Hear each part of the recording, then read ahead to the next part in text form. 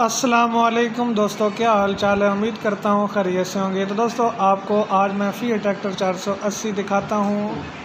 फ़ी tractor 480 video के अंदर मौजूद है। आप देख सकते हैं, ट्रैक्टर के टायर और रिम बिल्कुल ज़बरदस्त कंडीशन के अंदर मौजूद हैं। तो बताता चलूँ कि ये ट्रैक्टर 2009 मॉडल है और रावलपिंडी की लोकेशन है। इसके, रावलपिंडी के अंदर ये ट्रैक्टर मौजूद है।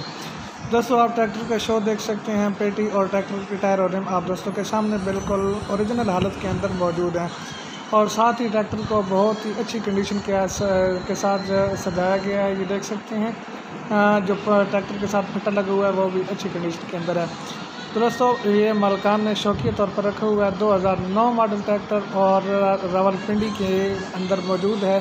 जो बाइक ख़रीदना चाहे मलकान का नंबर मैं दे देता हूँ, आप उनसे रबता कर सकते हैं। तो आप देख सकते हैं, मैं जल्दी से आपको ट्रैक्टर का मुख्तलिफ़ एंगल से रिव्यू करा देता हूँ और साथ ही मुकम्मल डिटेल दे देता हूँ। तो आप ट्रैक्टर का रेडिएटर देखें, ये बिल्कुल करीब से आपको दिखा रहा हूँ और साथ ही ट्रैक्टर का सरफ ट्रैक्टर की पेटी और ट्रैक्टर का शो बिल्कुल करीब से आपको दिखा रहा हूँ।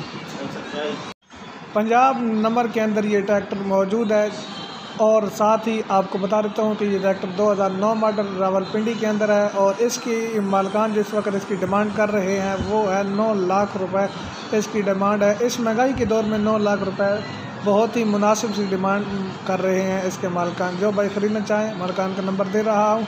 तो दोस्तों, मिलते हैं नेक्स्ट वीडियो में, तब तक के लिए इजाज़त दीजिए। अल्लाह ताला आप तमाम दोस्तों का हामी नासिर हो। अगर वीडियो अच्छी लगे तो कमेंट्स के अंदर अपनी राय का इजहार कर दीजिएगा। अस्सलाम वालेकुम वर्का